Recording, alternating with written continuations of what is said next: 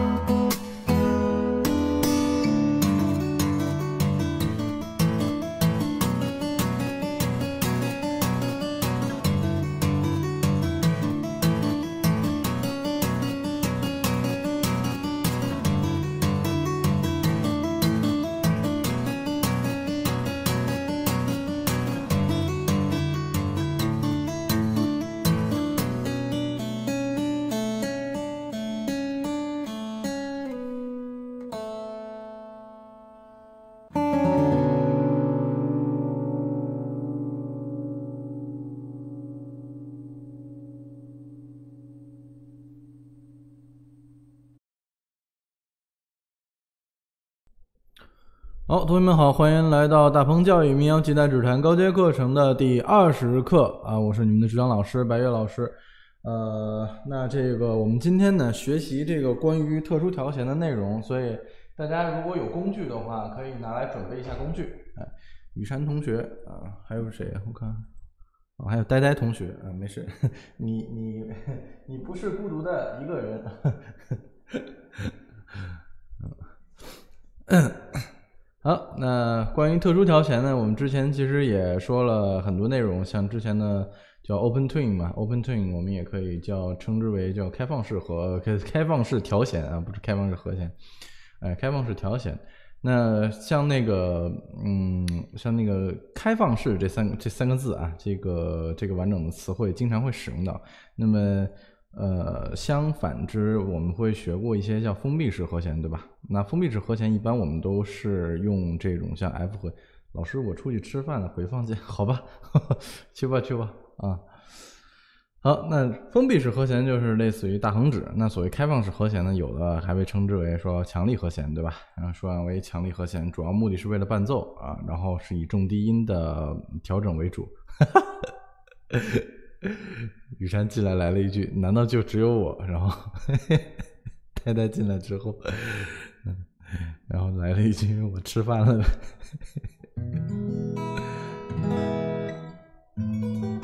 好，那今天呢，我们开始往后进行今天的学习。哦，你这是 VIP 课程。呆呆同学有琴吗？你有琴吗？嗯。过了一个五一的假期，嗯，不知道你们五一有没有弹琴？反正我觉得，嗯，上这几节课吧，应该是你呃接受这个吉他相关知识应该是比较多的啊，还是比较充裕的。完了没带，那你可能得看一遍回放。我们今天学。学一个比较简单的曲目，但是调弦相对来说可能让你绕一绕，就是《流行的云》，嗯，你应该听过吧？可能，嗯，我觉得那曲子还蛮好听的。然后一会儿我会给大家弹一下。呃，它用的是一个 Low C 的调弦方法。当然，Low C 这个统称啊，统称就是说我们有一个低音 C，哎，就是我们把六弦的咪调成 C，啊，C 已经很低了啊。如果你的琴弦是幺二的琴弦，就普遍咱们使用的琴弦比较常用那种。你就已经感觉在某一些嗯把位上可能会有一点点打品，这个是正常现象啊。因为据我所知，现在目前为止使用 Low C 的呃，对山花流星雨可不是吗？对对，但是花儿和奇迹的山是另外一个调弦啊，它是另外那个是有一点 Open Twin 的一个性质那个啊，然后呃 Low C 的调弦方法吧，嗯。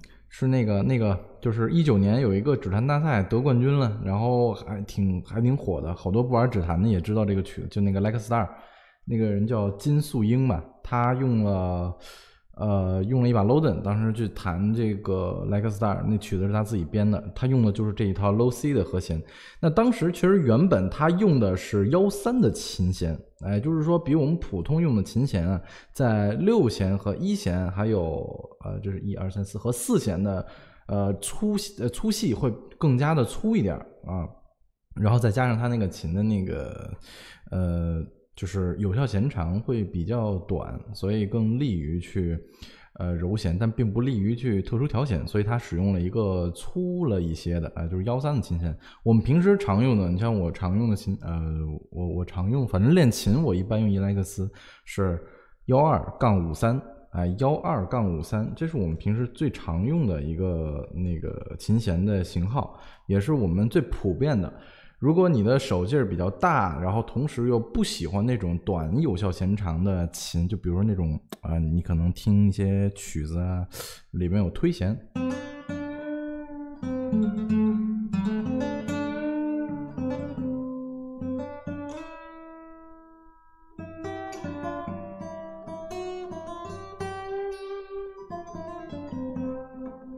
柔弦推弦特别多的这种东西，它。更加呃适用于就是说我们去用有效弦长较短的一些琴啊，他们会更适合这种内容，像布鲁斯啊，就弹这种东西。那有一些像例如日式指弹，它用的东西比较弹的东西比较快，呃，节奏比较迅速，然后同时还非常有节奏性。呃，有时候甚至会需要你的右手有一些大范围的嗯拍打和连带琴弦的模式，就更加适合用一些有效弦长较长的内容。呃，轻柔的用较短的声音可能会出现的更加的舒适啊，有效弦长长的琴弦会更硬，呃，个推弦可能就不容易了。但是如果你弹速弹的话，相对来说就会快很多啊，就会非常的方便。我是建议大家练琴的话，去用伊莱克斯一二杠五三就可以了。但如果你特别沉迷于 low C 这种调弦方式的话，建议你去可以尝试一下幺三杠五六的琴弦，或者幺三杠五三的琴弦都是可以的。一般是幺三杠五六啊，一般幺三的琴弦，也就是那个其实也被称之为泰勒原厂琴弦啊。因为为什么推荐大家用伊莱克斯呢？嗯，这反正是个比较省钱的琴弦啊，比较省钱，相对来说比较省钱吧。就是有的琴弦，嗯，可能比如三十块钱一套吧，但是伊莱克斯只有一百块钱一套。但是三十块钱的琴弦可能就挺个一两个月啊，那个琴弦你就能听得出来，它已经没有办法再继续弹奏了。但是伊莱克斯它呢，有时候能挺个一年的，不夸张的，你可以去试一下。嗯，这个琴弦值得推荐啊，就是也不是打广告，我觉得它这个 这个琴弦的品牌，反正你要玩吉他，你应该知道，它就已经是一种巨头的一种。呃，代表了啊，伊莱克斯一说伊莱克斯，谁都知道啊。泰勒用琴弦嘛，对吧？啊，这个是值得我们在练习的时候能够给我们少增添一些麻烦啊。因为如果比如说，呃，你用像比如说达达里奥，对吧？我我是亲身感受啊，我是因为我练琴比较勤，十七使用七天差不多，啊，琴就已经没有韧性了，就是我用手一拉，我能给拉断，所以。那个确实，嗯，但是很多人演出会用那个，但是一场演出用一套，你知道吧？所以其实还是挺费的，还还挺费的。嗯，好，那特殊调弦呢，就需要注意事项就这些，希望你们呃如果有问题的话，可以及时跟我反馈，我会在公共频道第一时间反馈给你。啊，呆呆同学，你你是哎，完了，你没有琴，我啊，我我尽可能讲细致一点啊，就可能没有问答了。好，那之前我们学习了什么，都可以再回顾一下。学了什么？Take mute 是吧？Take mute。啊，Take mute 还有什么？Percussion，然后嗯，都知道这些是什么了吧？Percussion，哎，打板子嘛，对吧？啊，Take mute，啊，打那个，啊，打节奏，然后还有嗯什么？还有。啊，就这些东西其实属于你的演奏技巧已经开始提升了啊，已经开始有所提升了。包括之前用呃一些完整曲目里边使用的内容啊，但是后来我们在学 Fight 的时候，里面应该说是用有了一个整合，对吧？有了一个整合，那基本上好多东西全都放在里边了。老师今天用的这把琴呢，就是木头的味道比较重啊，可能不太适合弹这种东西。嗯，适合弹一些轻柔的东西。啊，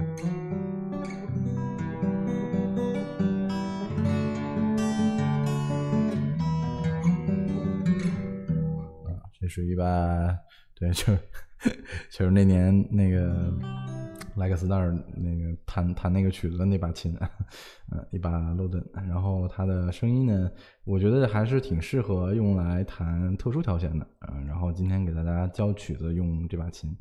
啊，你们也可以听一下，它的声音还是挺好听的，嗯，但是我觉得啊，其实普遍日式的这种歌曲啊，特殊调弦里面也分有很多种，有一种是它并不那么柔，但是呢，呃，对呃，对，并不那么柔啊，需要的技巧还不少，这是一类，还有一种是很慢，呃，很好听，啊，这种曲子的代表一般就是暗部真明他使用的那种叫什么 Morris，对吧？有一把琴。叫 Morris 这个品牌，日本的品牌，呃，还是挺值得推荐的。它的声音真的很好听啊！你的声音总是有那种红雪松的声音。当然，他们也也用，也不是说面板都是红雪松的，有的是用云杉的。这个根据你的声音的喜好啊，有兴趣可以去关注一下。那个琴很便宜，那个琴挺挺挺挺有特点的。嗯，嗯，今天呢，我们复习一下上节课的指弹内容，然后呢，开始学习特殊调弦的。呃，当然了，其实就是比上节课特殊调弦的二弦本来是一个西，哎，就是 B，把它调成 A 就可以了。其实跟上节课是有点像的，只要把 B 调成 A 就可以了。一会儿我们来调一下，等于我们要调的是一弦、二弦和五弦、六弦啊，一弦、二弦、五弦、六弦，三弦和四弦不用调，三弦本身就是 G，然后四弦本身就是 D 啊，这个能明白吗？好，我们呃开始往后进行。我们先进行一个复习的内容。好，同学们，好久没看到我了，哎啊，特写镜头不喜欢我了。好，我们先来尝试一下啊，我们之前学习的东西，然后啊，顺便给大家复习一下，复习，然后看看你们五一有没有丢掉什么东西。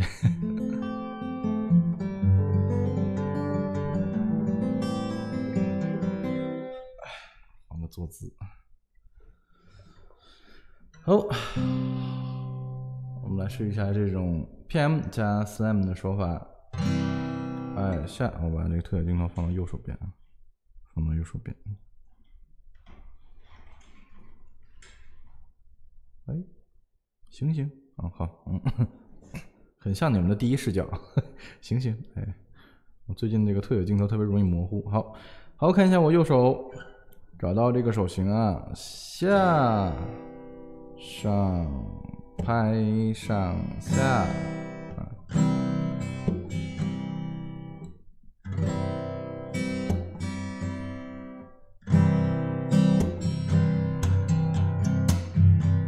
再来一次，下上拍上下，一二三四，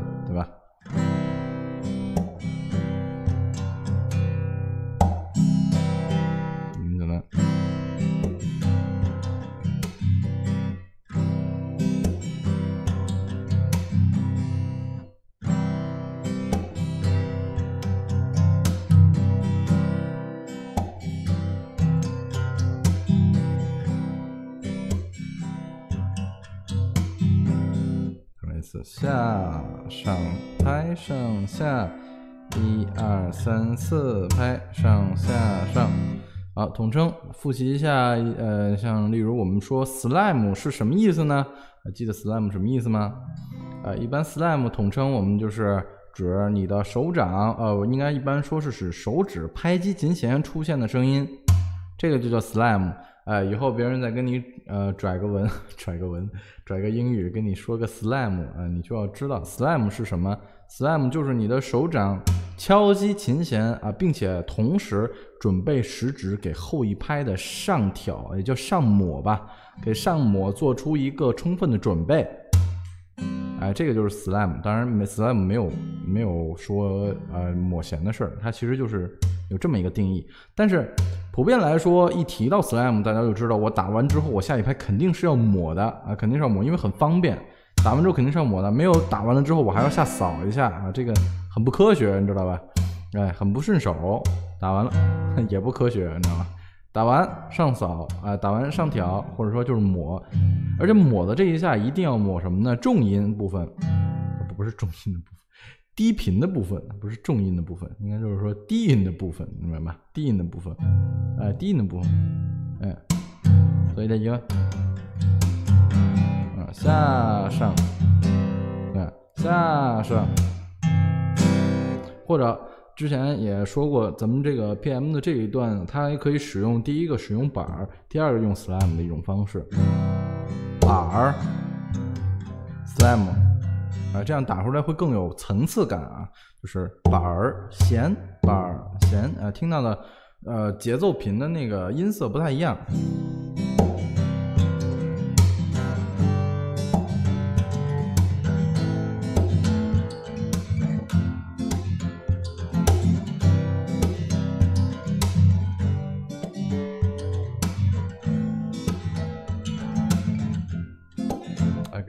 复习啊，再听一次啊，下上拍上下，一二三四，上下上，再来一次啊。这当然，这个 slam 有很多种方式，有人喜喜欢直接这么拍，对吧？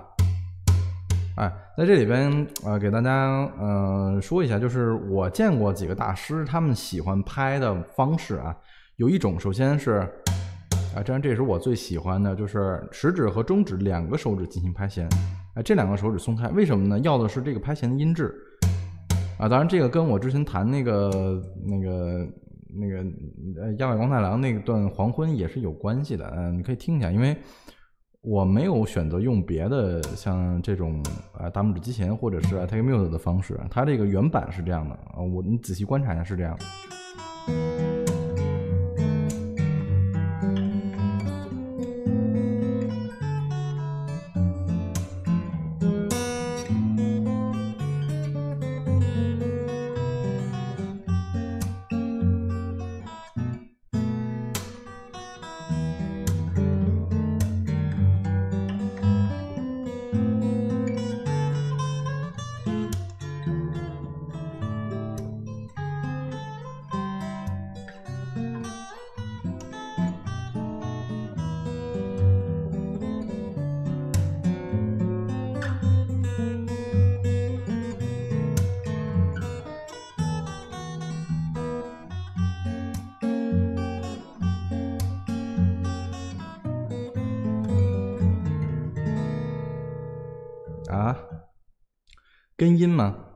这边吗？其实我感觉这个麦克风不太能收声，这个吉他，嗯，其实跟我觉得啊，就是嗯，因为嗯，我觉得弹琴呢，没有那种对于天赋的要求奇高的那种，你知道吧？有的乐器对天赋要求奇高，你比如说小提琴，你知道吧？我看都不敢看那种难度还是有的。然后如果是吉他的话。有一些内容会直接帮助到你，就嗯，你比如说你们开始上吉他课吧，你们怎么着能从视频当中最快速的接收到一些信息量呢？首先，你看我的指型啊，我的手型，我老跟你们说，呃，不是说我一直在标榜我的手型非常的正确，是因为我有意的再去规范我自己的手型。有的人手型是这样的，我相信很多人都是这样，就是我包括我之前给你们看作业的时候。你的大拇指啊，如果在食指后边的话，嗯，其实我不知道这有没有对错之分，但真的不利于你的大拇指去弹奏根音的一些内容啊，不利于是这么去弹，一定要把大拇指往前，适当向前放。如果是平行，其实都挺标准的，哎，你别太靠前了，这样，哎，我觉得对根音是有一定帮助的，你你自行参考，自行参考。啊就是从反正从这个阶段往后，你们也能感觉到我更愿意给你们弹一些曲子。这个技巧的东西都教完了之后啊，很多使用方法就有很多个人习惯，包括我也是。我教我不能说我教一套，然后我用是另外一套，多多少少会有一点呃更改，就是我的个人习惯。那你们可能也会有自己的习惯，比如说我根本做不到这个呀，对吧？之前我弹那个呃这个曲子有一个就那个。尤里的那个曲子有一个十品到五品的一个，这个是十品的大横指和一个啊不五品的大横指和一个食指。那遇到这种情况，你你应该怎么办？遇到这种情况，你你你没有办法，你知道吧？你就得生生弹。但后来发现其实不是做不到，还是可以的。就是你的横指也会相对来说的被强行的 训练出了一种技巧性啊，可以听一下，也可以听听这段。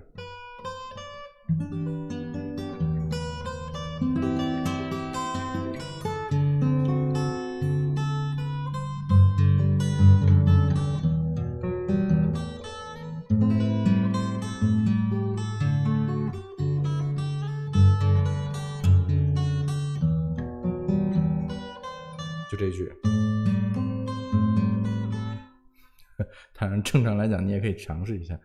就是需要去练习啊！我一开始觉得我这辈子弹不了这曲子，后来发现还好。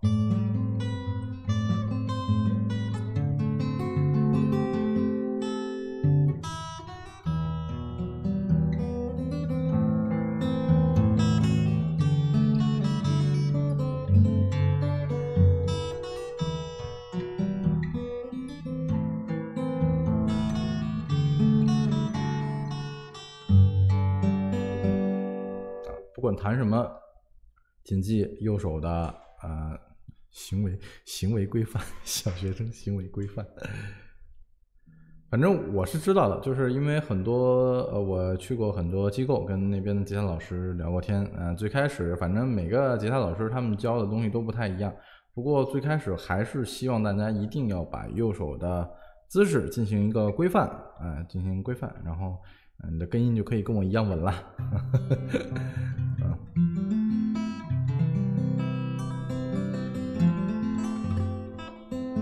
好，我们说回这个，就是这个中指和这个食指这个，那这个技巧得单独练。我是因为这个曲子单独练的，呃，我发现这个还是很好听的，真的很好听。就是相比相比 a t a k e Mute 来说，你看我拿 a t a k e Mute 去弹那个黄昏，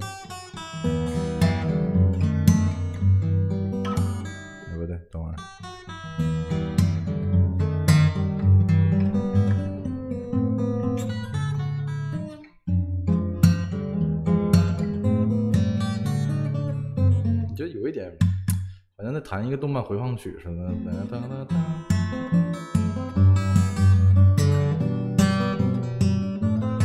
反正他有他的使用方式，还包括有的人喜欢用大拇指敲击，对吧？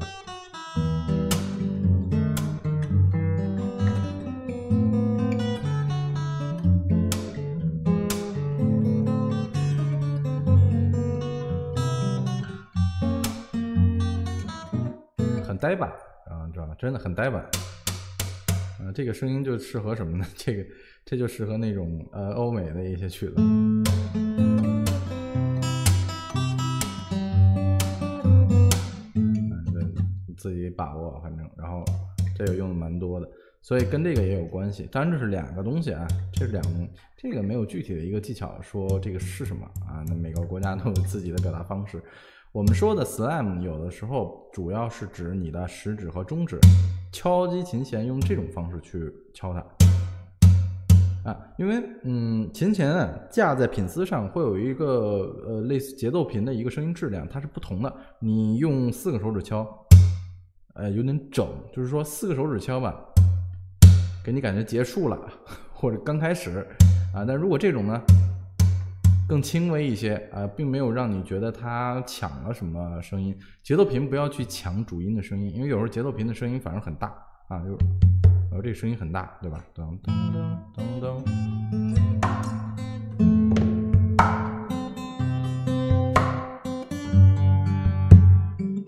啊，它有时候声音比较大，然后这个就会让它的声音层次，嗯，就是都是为声音层次去去呃去让路的。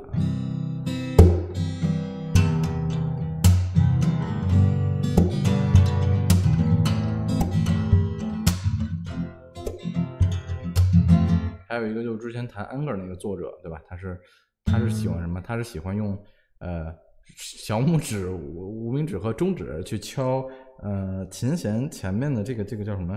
就是二二十品啊到二十四品这这一部分，他喜欢敲这个，听得出来吗？他的声音有你指板的一个共共振的声音，哎，跟你敲这边是完全不一样的。所以也有这种的，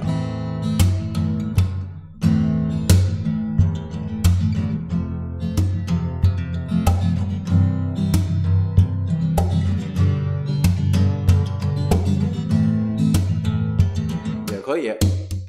哎，这种，哎，很多大师都这么用的，所以我建议你也不要去傻傻的专门去敲 slam 了，你可以去尝试一下，他们大师经常会用这种手法，一个就是这种，呃，pew，像枪指这种。还会消出这么一个声音，哎，然后它有指板的一个反应的共振，咱们的指板很多用的也都是玫瑰木吧，好像，然后还有一种是，哎，两个手指，这样都比你之前这样去敲 slam 的声音要更加的有质量，知道吧？能听得出来吗？咱们之前的敲法，这第二种，第三种啊，鼓，是不是学指弹吉的连架子鼓一块儿学？哎，连架子鼓要一起学。好，哎，我们往后进行。那这段没有问题了吧？啊，我们今天可能会用到变调夹儿。对，我们今天学东西会需要用到变调夹。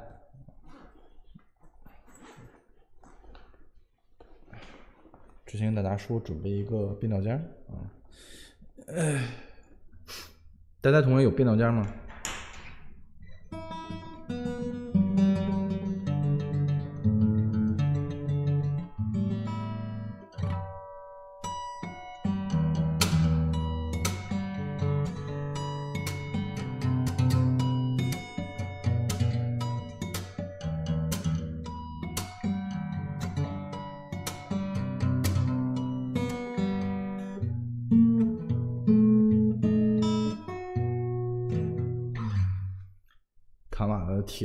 的，没事，变调夹什么都行，拿根铅笔都行，拿根铅笔俩皮筋儿。我小时候那么练琴，哎，一根铅笔两，哎，朵心同学，哎，又又来一个小同学，卡玛，哎，对，好像最近卡玛的琴还挺火的，嗯，卡玛的吉他好像最近挺火的，嗯，对，塑料的，啊，对，反正我觉得，哎嗨，你好。我觉得变调间儿好像不是，因为我觉得那种变调间能反加的挺好，就是反的可以加的，呃，反正可以加的，其实可以，你比如陈亮有的曲子，他我就加四根儿，或者或者安迪那个我就加三，我就加四根儿，我就加五根儿什么的，你可以用啊。嘿，你好。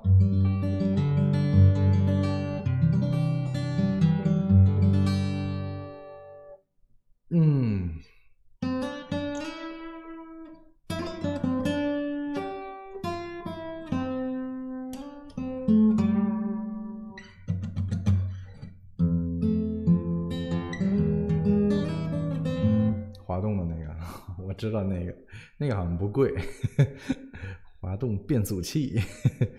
嗯，第一次我看见那个的时候，我我也主要后来也没怎么使，我我好像没有那个，我没有什么特别的指法可以把那个东西单独的拿过来，我还是得拿右手去抹一下，有断的那个感觉。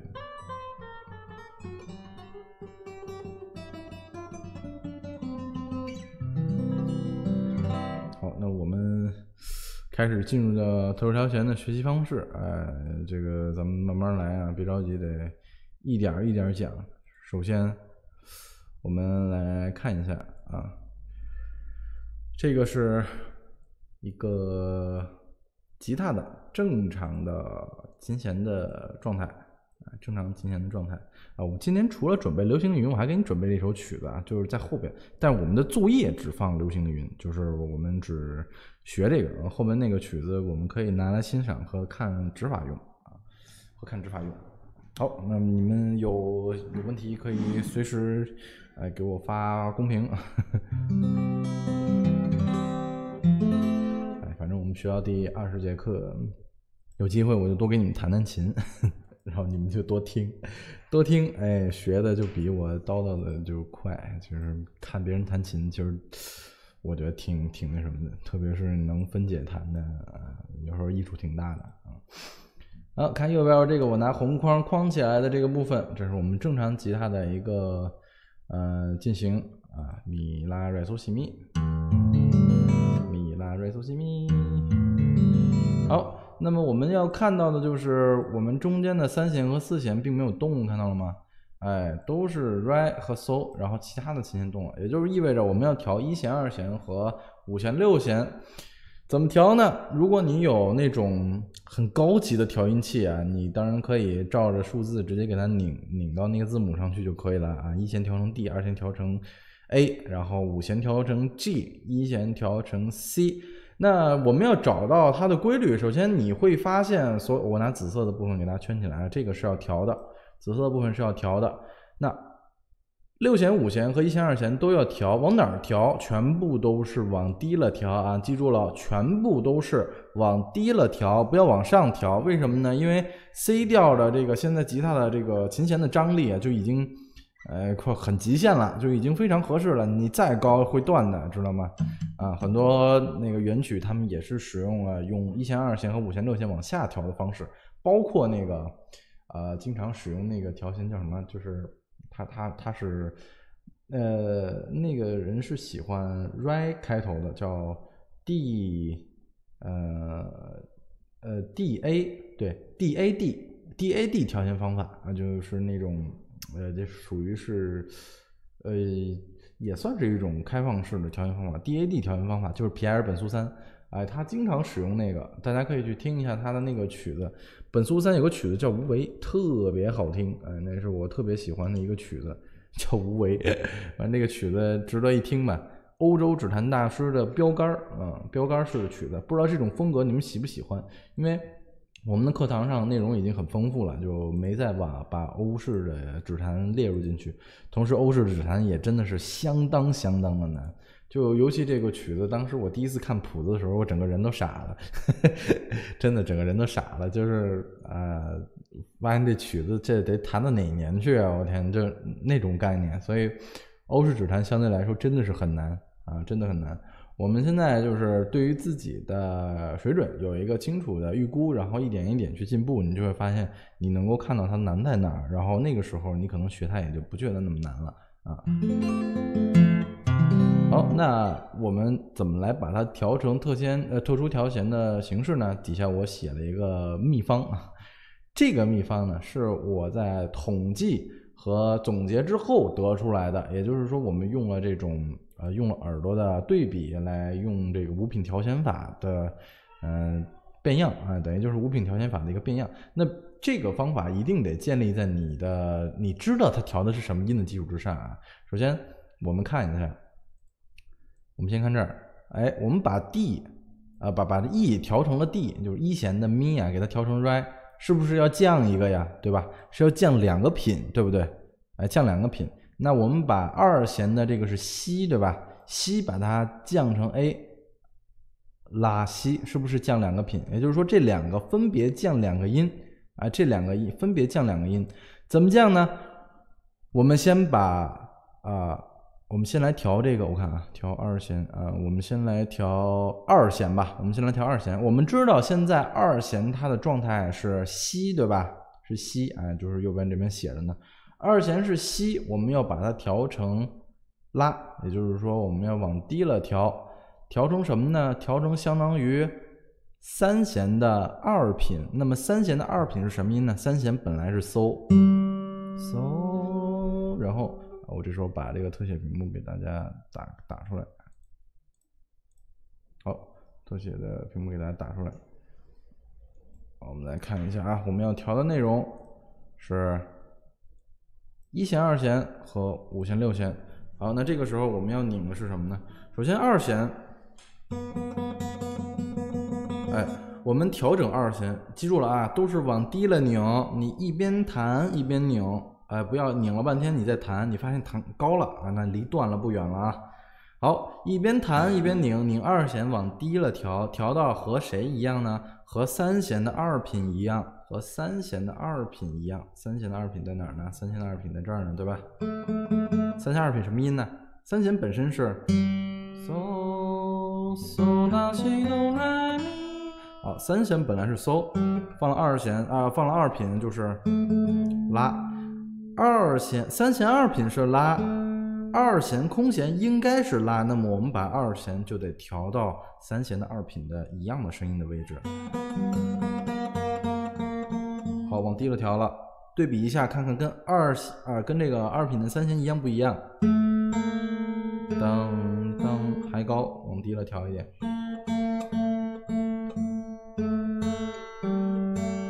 我现在在调二弦啊，把二弦往低了调。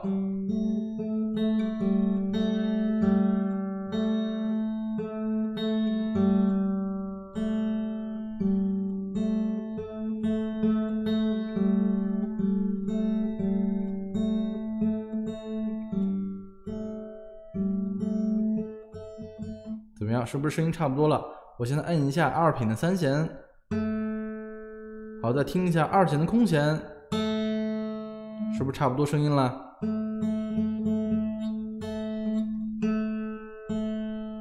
声音是差不多的。如果你在听了，呃，听的有点就是听的有点上头，听的有点就是分辨不清了，把吉他的琴弦捂住，等一等。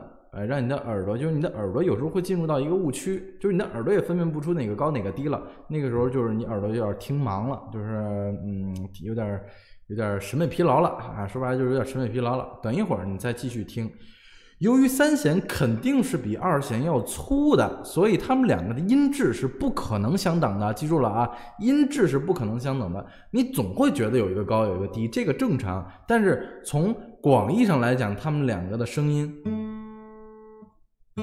在不同的粗细当中，甚至就可以理解成为不同的材质啊当中是一样的音色就可以了。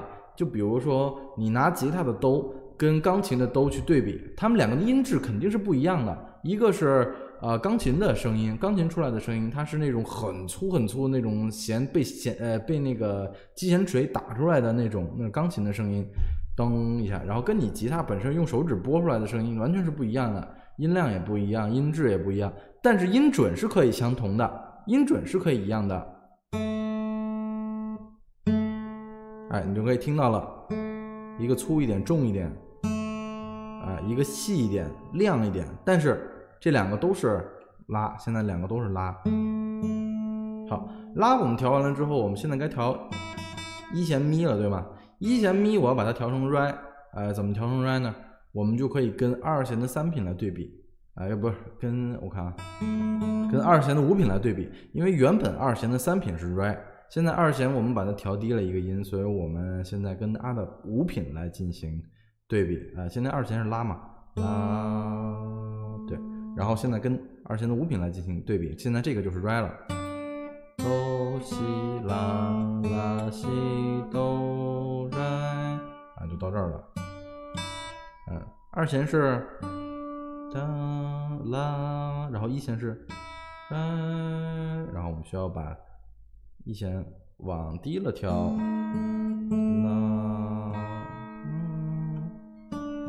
把二弦和呃二弦的五品和一弦的空弦是一样的，二弦五品应该是 re。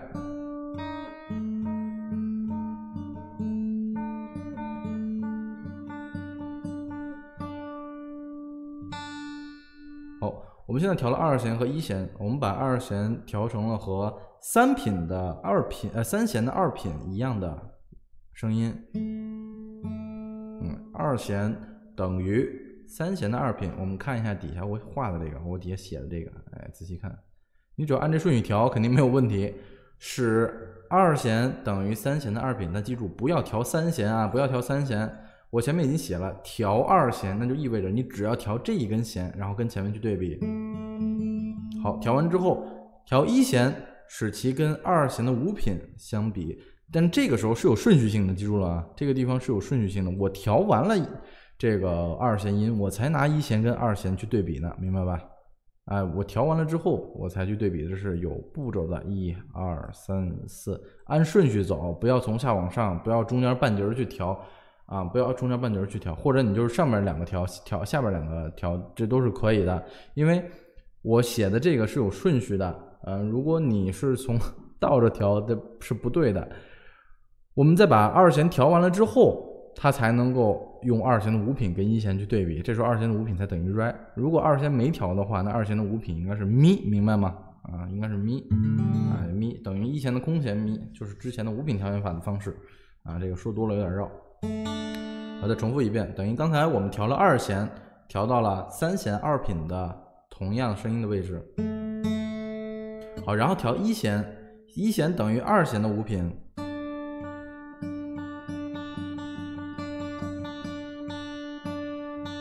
我听的一弦好像略高一点点。好，那现在你的三弦是这个声音那么二弦应该是拉，拉。好，一弦是 Ray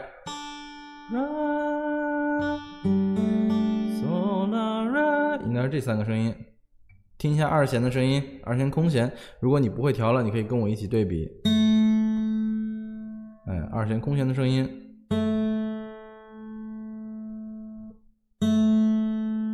好，一弦呢就是 re 了啊，是 re。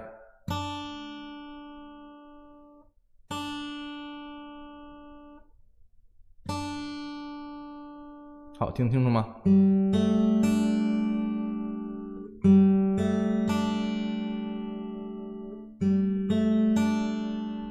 好，呃，我们可以检测一下，我们的一弦现在是高音 re，那么我们的呃四弦本身它就是低音的 re，呃应该是中音中频的 re 对吧？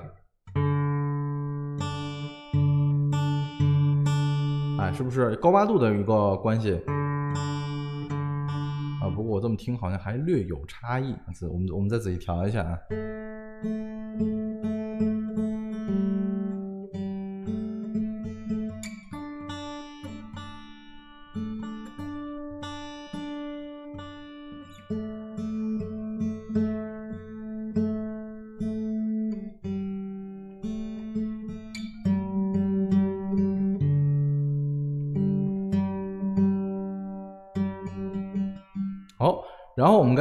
弦了。刚我们调五弦，五弦怎么调呢？我们首先要知道，我们要拧的是五弦。哎，五弦我们应该拧哪个钮啊？五弦拧哪个钮啊？五弦拧这个钮，对吧？哎，记住五弦是拧这个钮啊，这个钮往低了拧，拧五弦。五弦的七品。等于四弦的空弦，嗯，记住啊，这个地方我们摁的琴弦该调了。之前是我们摁的不调，现在是我们摁哪根调哪根。我们摁住五弦的七品，哎，五弦的七品跟四弦来进行对比，五弦的七品应该是 re 才对，但是呢，它不是 re，所以我们要把五弦往低了调。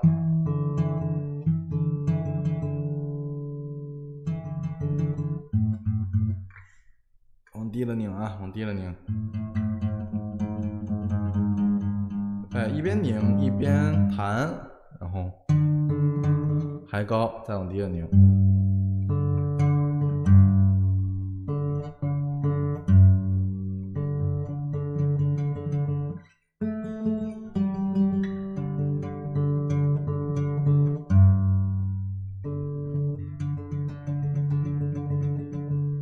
怎么样，感觉？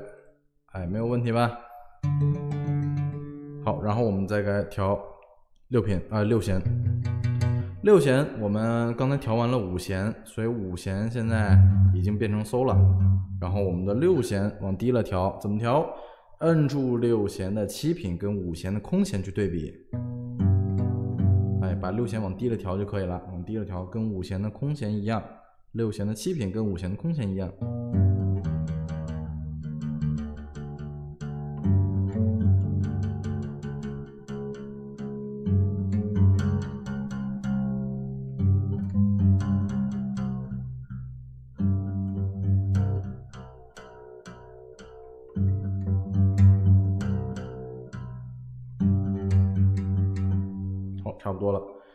现在来对比一下一弦，怎么检测呢？我们应该摁住五弦的，呃，这个二弦的五品，跟一弦去对比，然后是三弦的二品，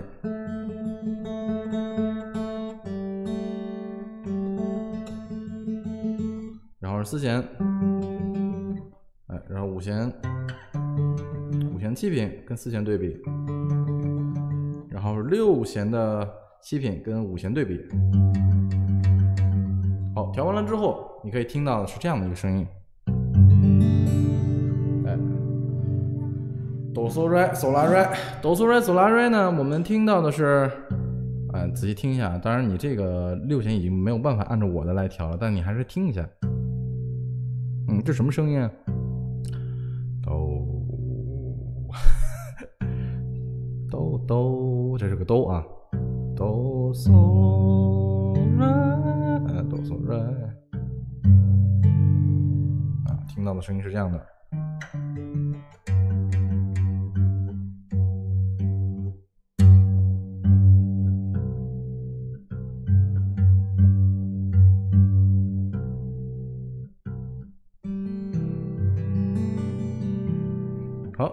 那么我们这节课主要以曲子来学习和弦内容啊，这段我不知道大家听，嗯，呆呆你听明白了吗？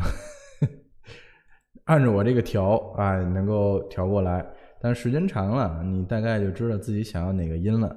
如果你在调弦的过程当中，呃，贝斯的音跟特调后的六弦比谁更低呀？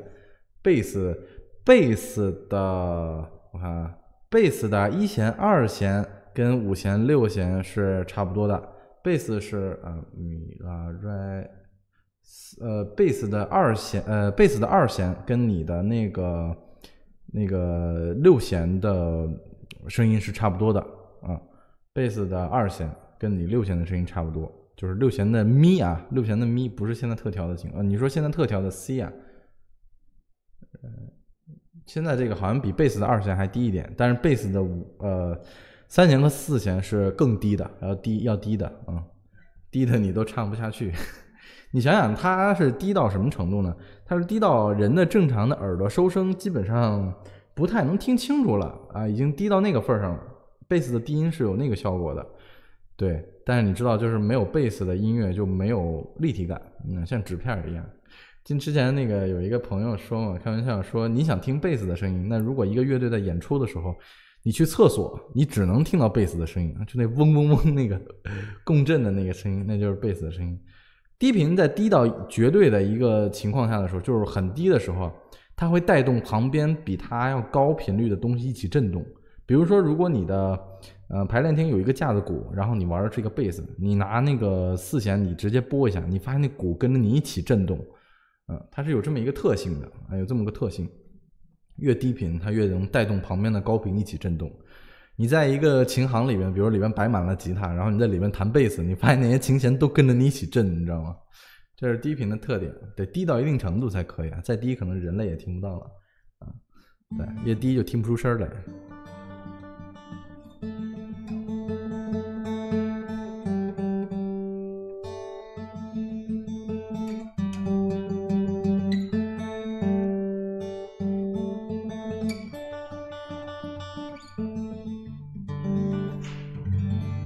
呆呆，你听过他们那个之前那个一九年那个 Like Star 吗？他们用的就是这个调弦，哎，他们用的就是这个调弦。我们你可以来听一下啊，我我给大家可以弹一小段，来听一下，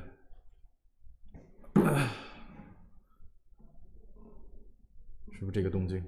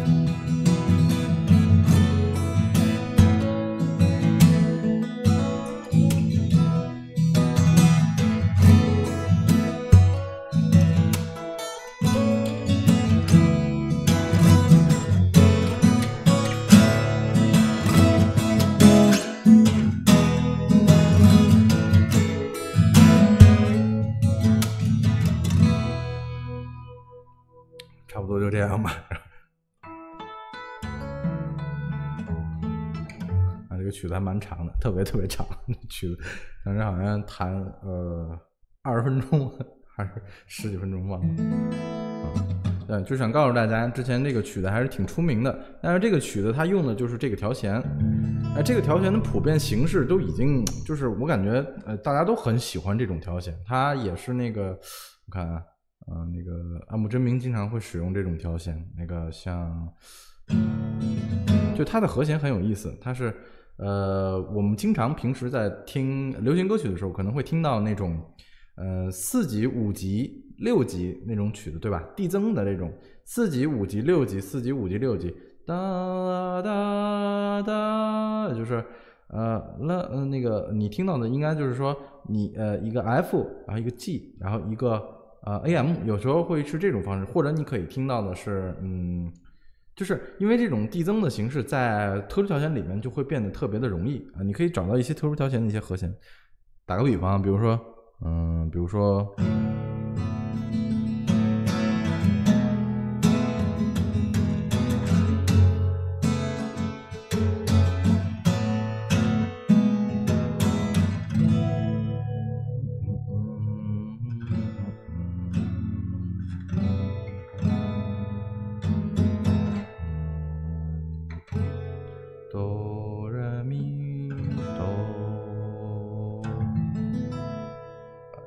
嗦拉软，嗦拉软。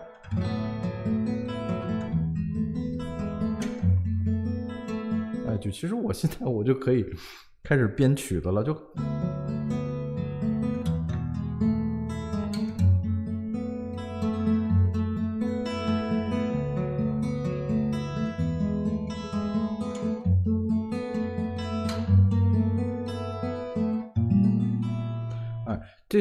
和弦对于这种特殊调弦来说就变得非常简单。当然，我细致给你们划分，我现在也也也有一点乱。我现在只我只能是依靠我自己现在编曲的能力，然后用的特殊调弦。其实我用这个也也不多，也比较少。但是我爱听的曲子啊，都是这个特殊调弦弹的。呃，我比较爱研究那个之前我教大家那个 open twin 的那种调弦方式，但这个调弦它确实出了很多特别好听的歌曲，比如说像流行云。那么我们接下来就需要来学习一下流行云它是怎么来弹奏的，我们来听一下，啊，我觉得它也非常的好听。这个，哎，啊，呆呆同学，你你要是那个变调间的话，就是，哎，嗯。就是希望你们还是都有吧。其实没有变调间，确实没有弹出这个琴的这个曲子的感觉。我们普遍变调间一般都加前几个品。这个曲子啊，《流星云》本身，呃，我看暗木之明它是加在了九品上，对吧？那九品真的是很高很高了。那我我在这里我就加，我要不我加个，算了，我也加九品吧。我我怕我这个变调间加不住。嗯，差不多。很勉强能夹住，试一下。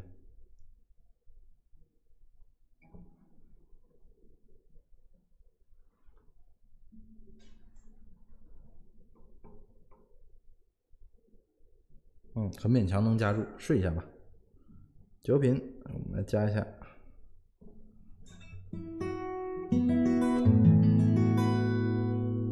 比较勉强。嗯，也可以吧，我听一下。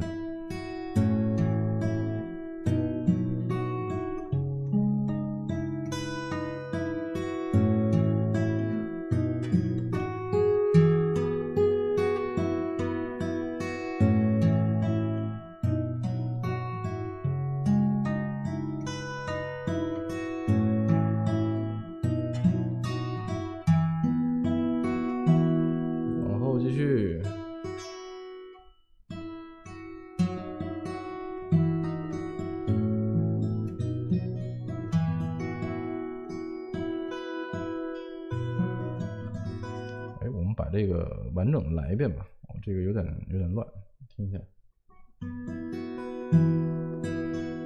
往后走啊。哎，我们来看一下这个，哎，我觉得这流星云顺序有点不对劲啊。当当当当当，我们来看一下。哎，这个谱子是是这样写的吗？当滴当当当。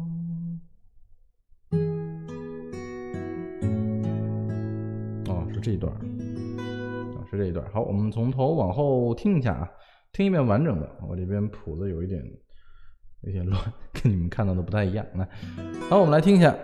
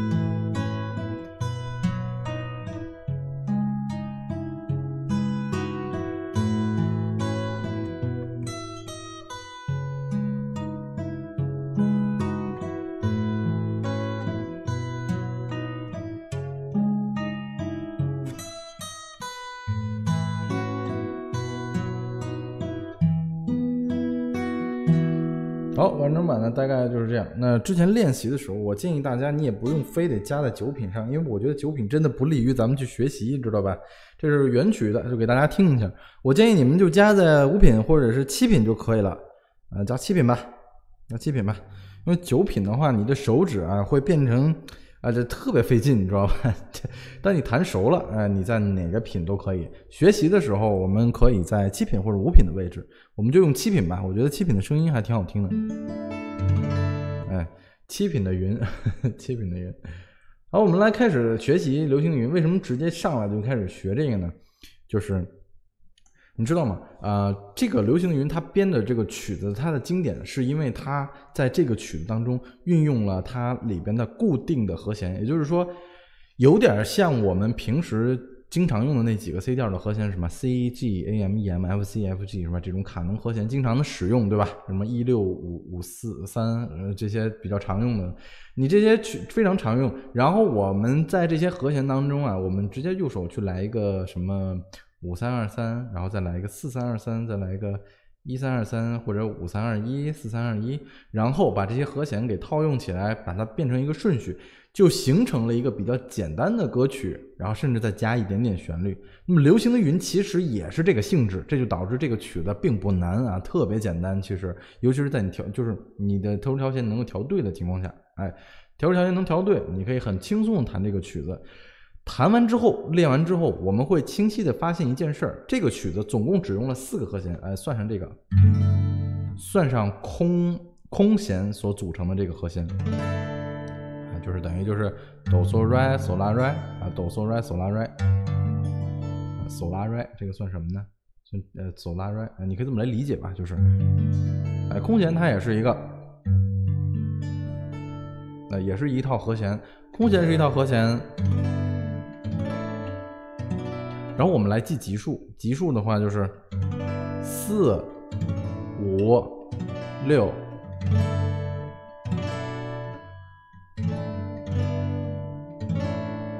我们来记这个级数，然后我们就会形成一个固定式的一个思维，就是这些级、这些和弦，我们就已经可以根深蒂固在脑子里了。然后我们就可以拿这个伸指来弹唱都可以，但是这些比较经典的和弦的摁法呢，你得知道，就是在这种调弦的情况下，我们经常会使用的和弦摁法，包括刚才我们弹奏那个《Like Star》的时候，它这段，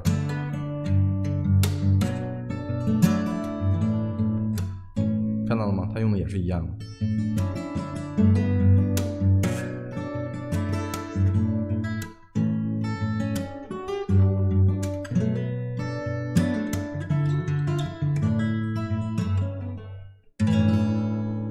一个五级，看到了吗？好，那么我们来弹奏这一段。首首先从开始开始啊，这个地方我们一个特写镜头也可以找到很多内容啊。空弦，然后我们找到第一个，哎，记住啊，你看别看就摁了一根琴弦，这也是一个和弦，试一下。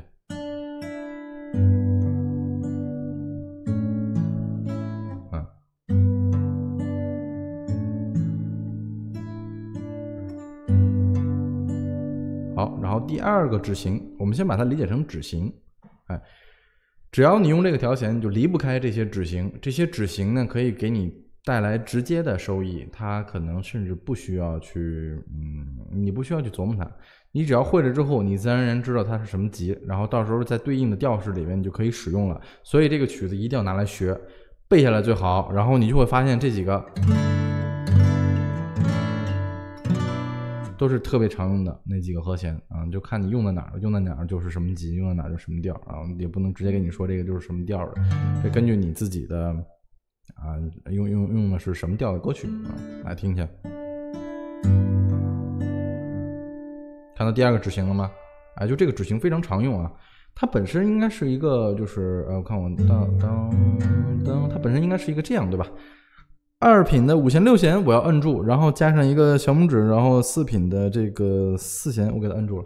本来这样一个指法，但这样的话特别臃肿，你知道吗？这样真的很臃肿。这样，然后直接就换一种方式，我们用食指来进行二品的四弦呃五弦六弦的一个按压，然后把无名指拿出来去弹这个摁这个四品的四弦，这样就能保证一个事儿。我用食指就可以按这两根琴弦，但是呢，我的这个时时候，我食指的指度是有可能会碰到四弦的。但是我这个地方四弦又摁了一个四品，所以我这样可以用两个手指完整的去把这三根琴弦都摁住，哎，用两个手指来进行三根琴弦的按压，来形成第二个和弦。第二个指型，哎，记住这个指型，看到了吗？用食指五弦六弦摁住，然后无名指来摁这个四弦。哎，一开始你会觉得你食指的这个指肚可能会碰到琴弦，碰不碰没关系，因为前面其实它已经摁住了，啊，它前面已经摁住了，啊，对，嗯，两个手指型，现在练这两个指型。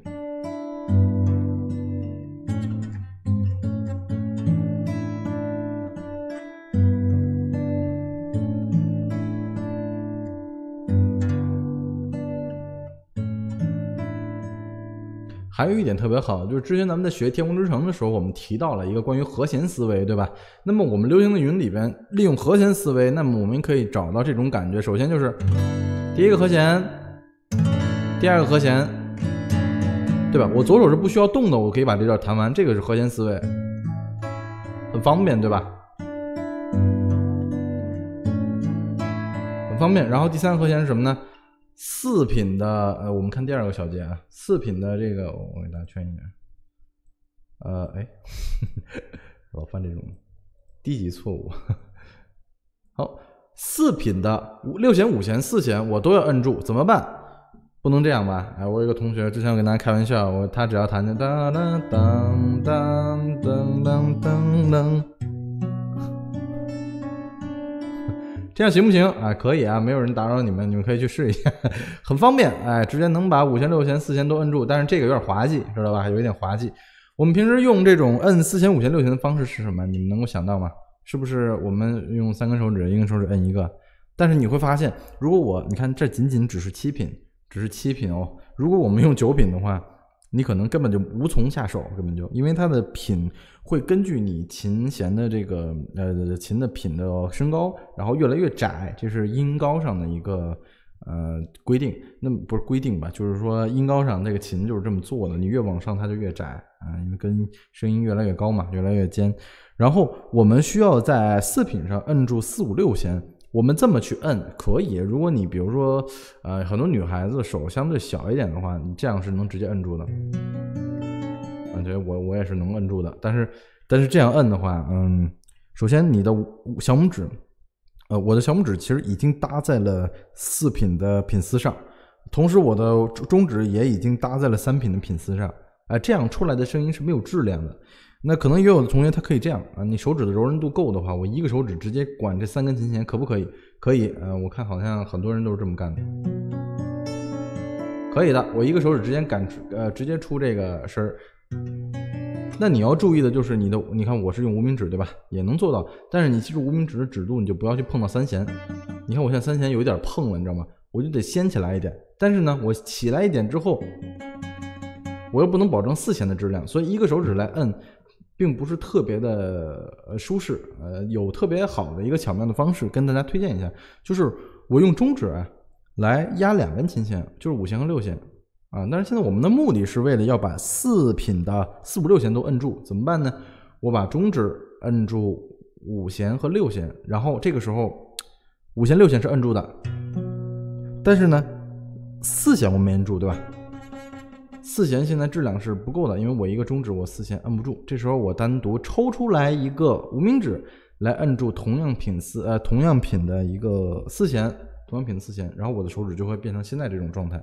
仔细看一下我现在的手指，啊，就会变成现在的这种状态。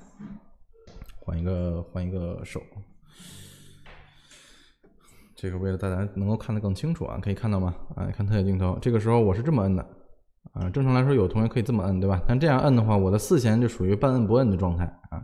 加一个无名指，我用两根手指，同样是啊，两根手指来摁三根琴弦啊，这个时候就能够保证我的五弦六弦中指摁住了，然后呢，四弦我的无名指摁住了，同时我的无名指在这里边摁住之后，给这个中指啊做了一个怎么说呢？就是一个贴合。啊，这个地方贴合会导致我的中指可以使劲的去摁这个五弦六弦，同时呢又不用担心四弦会碰或者说四弦压不住，因为我无名指在这压住了。从无名指往下的一二三弦就都就都非常的顺畅，都是空弦，啊都能够空弦都能够出声儿啊，因为我的这个无名指把中指抵住了，所以我的中指不会就指度不会在后边把这个三弦给碰住了。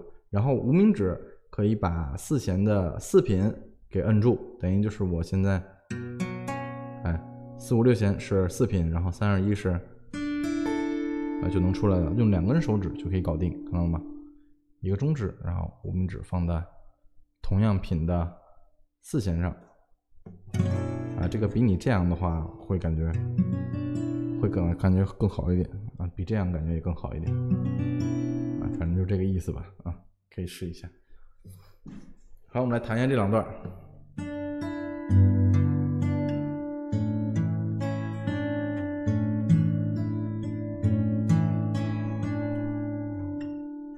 按住这个，就是第二小节。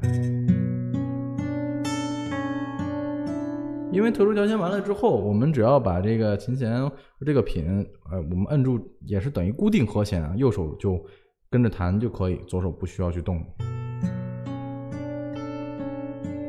哎，我的左手是不需要动的，等于三个固定和弦，嗯，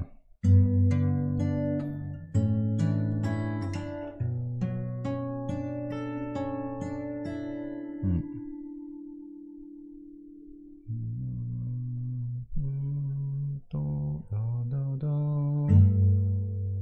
再来一次。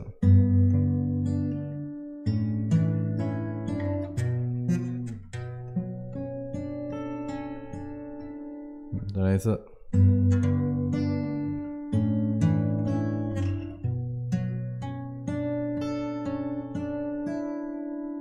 后边重复一遍啊。好，最后一个音有一点变化，小拇指放在四品。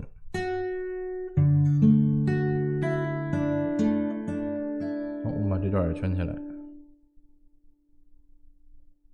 好，把这两个小节弹一遍，试一下。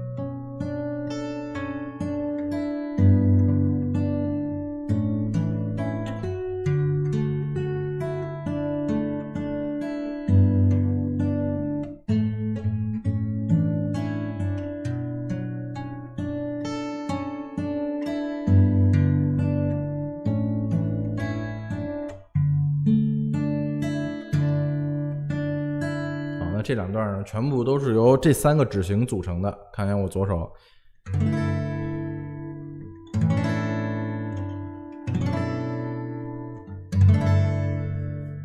再来一次。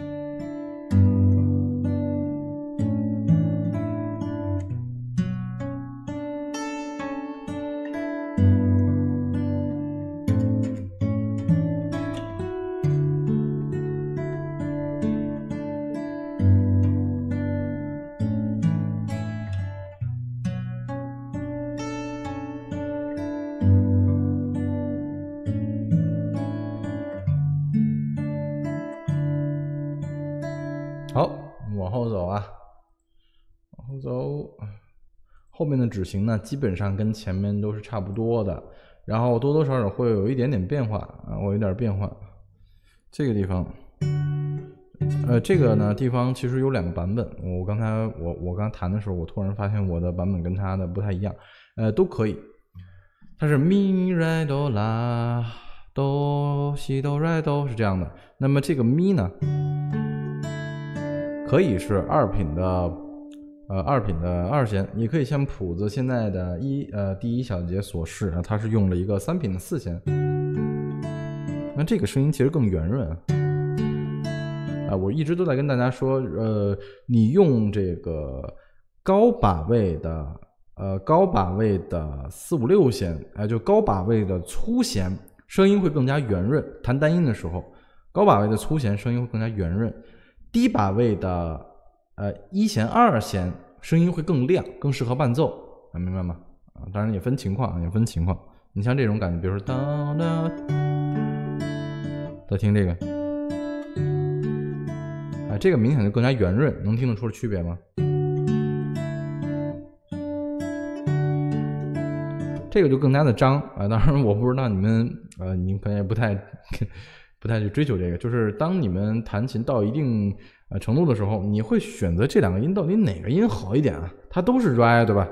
哆 re 咪啊，都是咪对吧？哆 re 咪 re 哆，再听一下。第二个，哎，我听的好像是这个好听一点。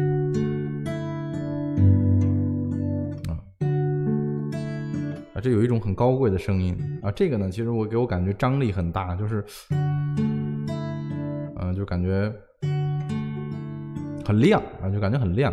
哎，我更喜欢那种呃很厚实的感觉啊，就是你看你自己喜好。这个地方它编配的时候按谱子上来是四品的三弦，我们就这么弹。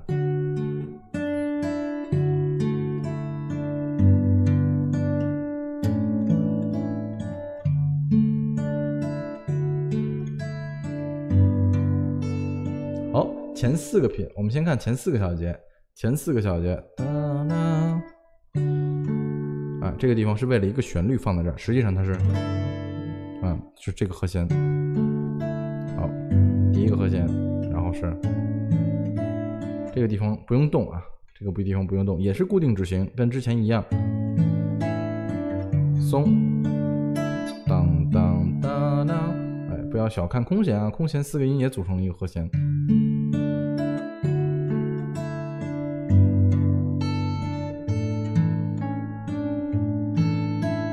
这个地方也是不需要动。我们现在发现了，就是我们已经在第一小节里面把整首曲子所有需要用到的指型已经全部学完了。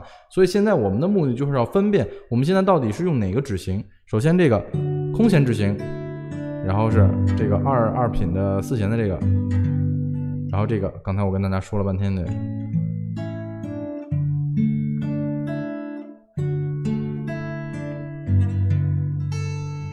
好，这个还是这个。多多少少在顺序上稍微有点不一样。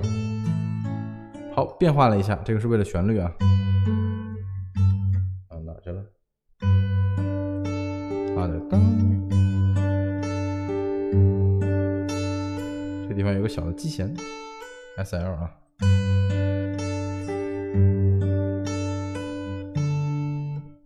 这个地方根音有了一点变化，看到吗？不都是，不都是六弦的空弦啊？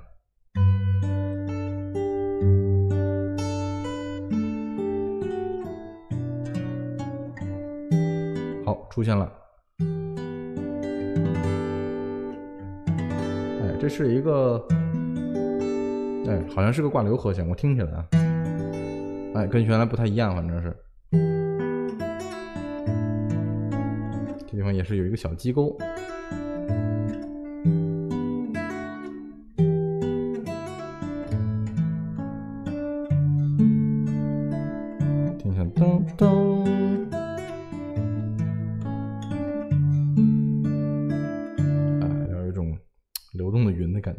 听一下。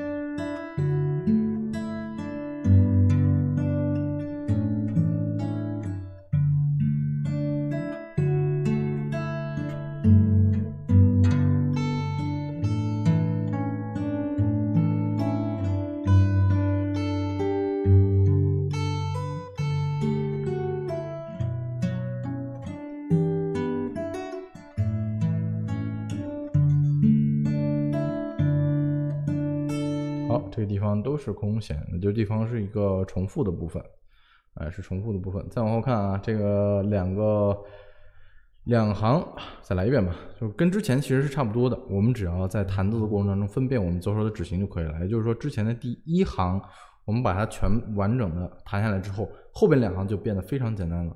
之前有一个小的梗，不知道大家有没有听过，就是大家说流行的云比较简单啊，就觉得挺挺简单的，把它变成一个星级参考指数。就比如说，呃，说这个曲子难不难？哦，这曲子好难啊！这曲子几个流行的云难度啊？那 这曲子三个三个流行的云差不多啊，那不是很难啊。说这个曲子十个流行的云哇，那曲子好难啊！啊，是这样。所以流行的云呢，在难度里面变成了一个标杆，变成了一个尺子。但确实这个曲子真的很好听啊！这个曲子真的很好听，你们听一下啊。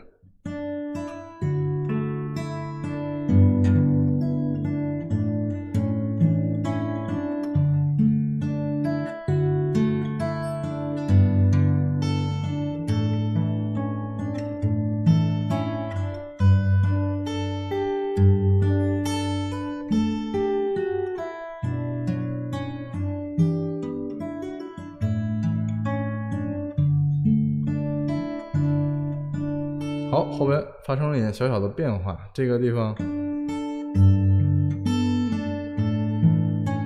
这个地方左手没有变化，这地方右手有点变化。我们这地方仔细看一下右手的部分。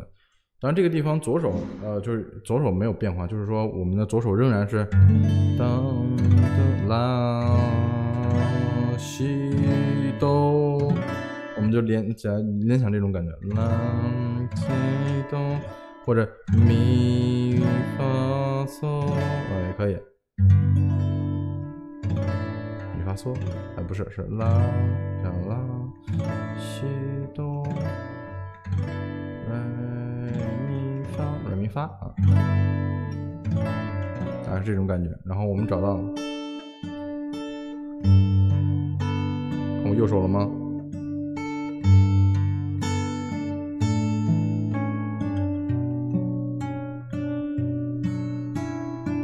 严格的把你的大拇指记住了，去去管四五六弦，这个地方不需要用到轮指啊，不需要用到轮指。轮指我平时也练，但是我这个地方是不需要的啊。一定要把你的大拇指找到这种感觉，这种节奏感。哎，咱们之前不是练美式了吗？美式里边大拇指这个地方啊。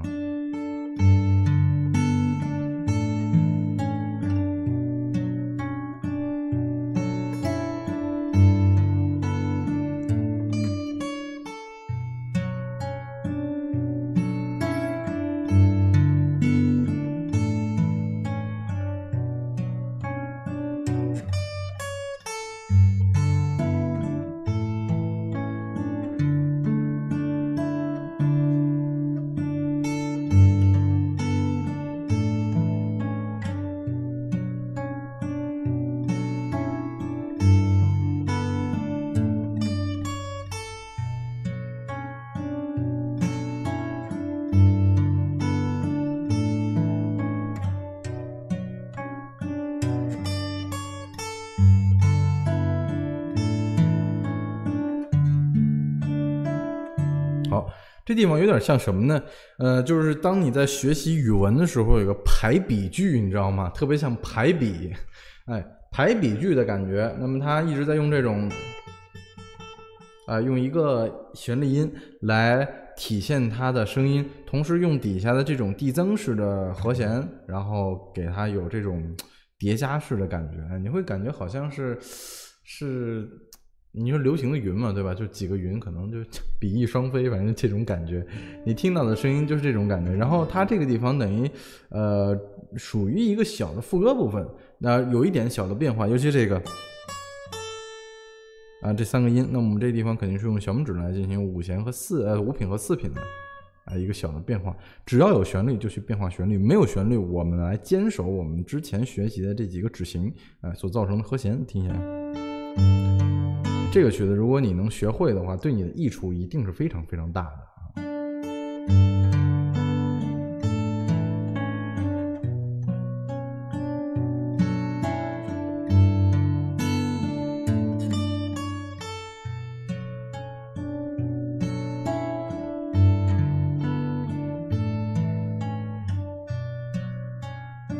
这个地方不太一样，小拇指伸出来。哎，迫不得已，我再去把和弦拿去弹旋律，然后尤其这个地方有一个小的意境，噔噔噔，松，哎，松一松，没有声音了，哎，单独把旋律音空出来，最后这两个小节非常能体现呃和弦的一个和弦思维，你试一下，噔噔噔噔噔，看第一个和弦。第二个、三个，这几个用的是非常多的，听一下。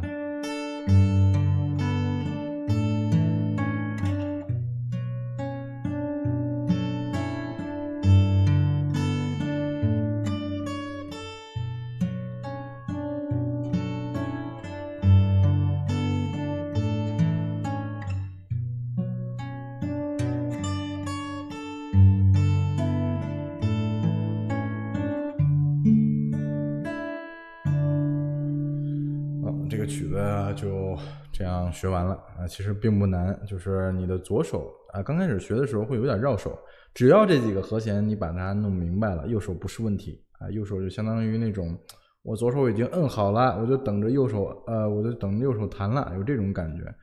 曲子学完了，对你在特殊调弦当中会有绝对的一个认知的感觉，同时这个曲子学下来之后，也是一个非常好的表演曲目啊，因为。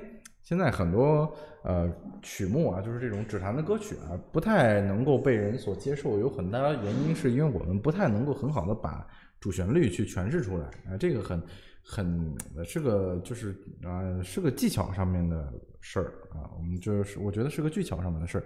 然后具体如果我们想把那个特殊调弦给它练好呢，这个也只是一个开始啊，就只是一个开始。所以我们需要把这个琴呃。啊，能够先练的比较熟练之后，啊，你才能够对特殊调弦的一些和弦有一个基础的概念。啊，说白了就是多说也没有特别大的意义，你就拿来练就好了。然后，呃，你像这个调弦吧，就是真的隆重给大家推荐你去练一练这个调弦的曲子，比如刚才 Like Star，比如这个，还有像 Time Travel 啊，之前可能听大家可能听我弹过啊，我很喜欢这个曲子。呃，不，还有那个 Way 吧，啊，我记住的是 M 真名的 Way，听一下。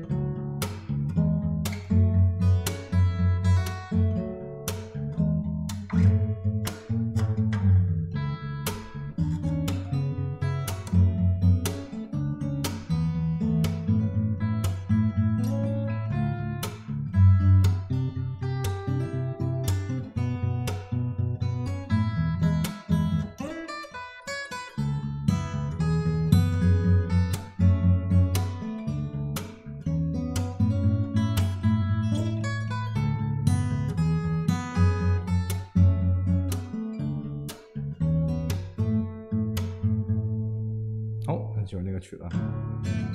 但你会发现我的左手其实挺像的啊，像流星的云，对吧？你看，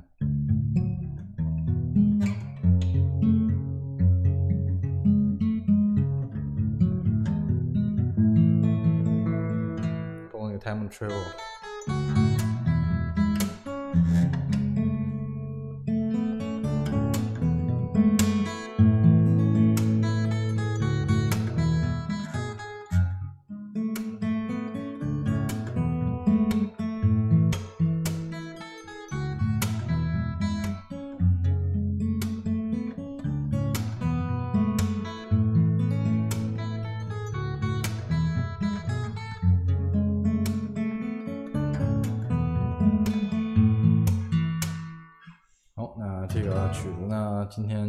学完了，希望大家能够回去 加油修炼。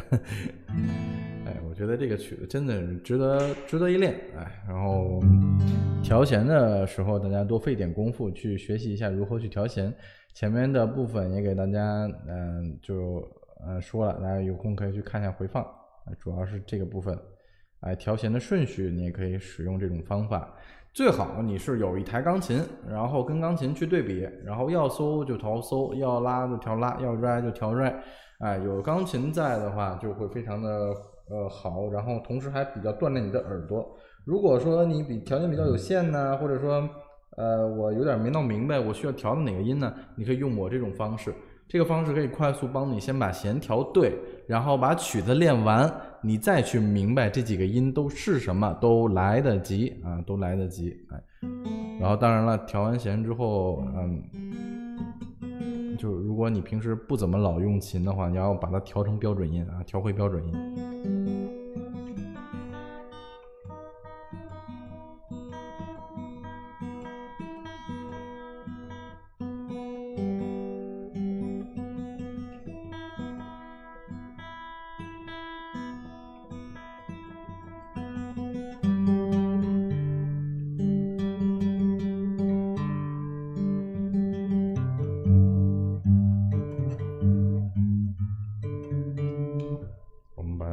标准音吧，调回标准音，这样看一下琴弦的声音有没有太多的变化。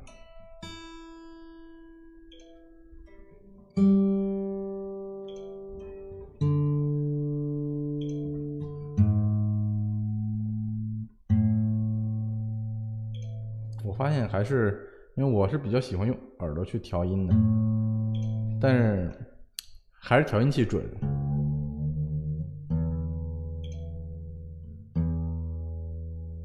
还是调音器会准一点，知道吧？调音器会准很多的。听一下，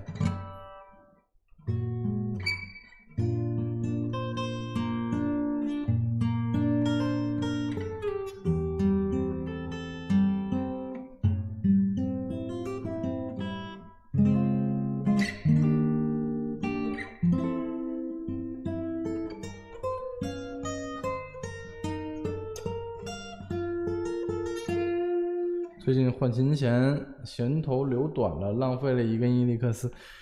哦，你留短了之后，它那个会根据你拧的程度，然后你那个琴弦会会往里缩，然后就直接会 就用不了了，对吧？是不是？我我知道这种情况。那个那个，你换琴弦的方式可能不是特别正确，我觉得。就换琴弦有很多种，嗯、有一些你可以把那个琴弦给它系个系个扣是最好的，但是嗯，不太好教你。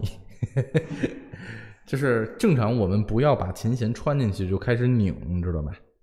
一定要把它简单的打个结，或者说你给它绕到主琴弦上来，然后让它压在那根琴弦上。然后剪的时候一定要留，一定要留，知道吧？剪琴弦的时候一定要留一点儿，啊、留多一点都没事，留丢多一点你怕扎手，你把那个琴弦给它弯过来一点都可以，啊、一定要多留一点，知道吗？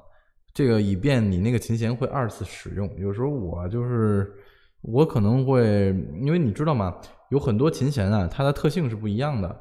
有的琴就比如说，呃，那个伊利克斯它的琴弦的那个声音就铁味儿会重一点，你就会感觉有钢有钢音，你知道吗？那个钢音有时候弹 Fight 可能挺爽的，但你要弹一些古典歌曲，呃，你弹一些欧洲的曲目，你会感觉那个声音有点有点格格不入啊。然后其他的琴弦可能没有钢音，但是可能木头的声音会更加的重一点。所以你在上琴弦的时候，你也有可能会去把这个琴弦。比如说我要换琴弦了，但是原来的琴弦仍然可以使用，我拿它当备用弦，你给它去下来，你还可以接着使。长度要是不够的话，你就没办法接着使。土豪随意啊，土豪随意。好，那么我们这节课就学了这些内容，回去作业就是要求把流星的云大家给弹熟，然后我觉得这也还是很好教的啊，就拿调完了之后啊教一下 就 OK 了。丹丹你肯定没问题。回去学流星的云吧，这个教的应该比前面那个快，好吧？那这节课就上到这里了，哎，跟大家说一声下课，哎，起立，老师再见，同学们再见，拜拜。